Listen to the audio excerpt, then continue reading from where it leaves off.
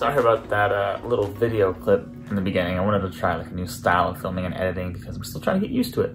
But here's a story of my $1,000 garage find, RX-7. So I woke up one morning, grabbed my phone, and text my girlfriend to ask her if she could come over for the day. So I hopped out of bed and started brushing my teeth when I got a text from my girlfriend that said, Can you come get me? To which I replied, Okay. So I put on some pants and put on some shoes then I got in my car to go get my girlfriend. As I was driving to her house, I found myself wondering the same thing that I do every time I drive. I wish I could find a JDM project car. While I was driving in a neighborhood, I noticed that there was some guy outside with his garage door open, cleaning out his garage. After nosily driving by his house, I noticed something in his garage, and then I said to myself, Holy shit, is that an RX-7? As I'm driving away, my girlfriend looks at me and says, If you want it, you should go ask if he's selling it.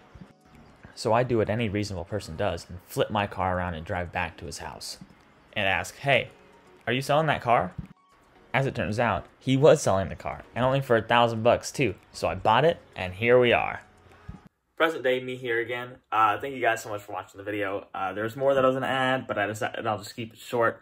Uh, so if you liked the video, go ahead and drop a like, but I'll see you guys next time.